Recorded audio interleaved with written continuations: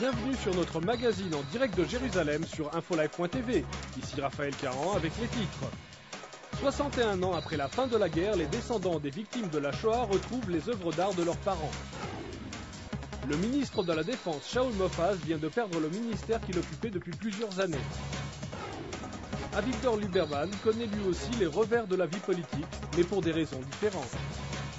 Merci de votre fidélité sur infolive.tv en direct de Jérusalem.